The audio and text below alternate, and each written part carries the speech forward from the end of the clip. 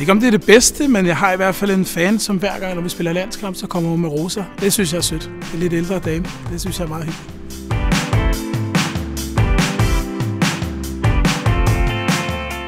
Jeg synes, der er mange.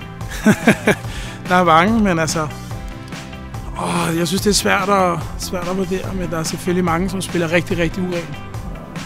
Jeg synes, der er sådan forholdsvis mange i den franske liga. Jeg synes ikke, det er de irriterende, men det er vel meget dejligt, at de er irriterende, for så er det sådan lidt motiverende.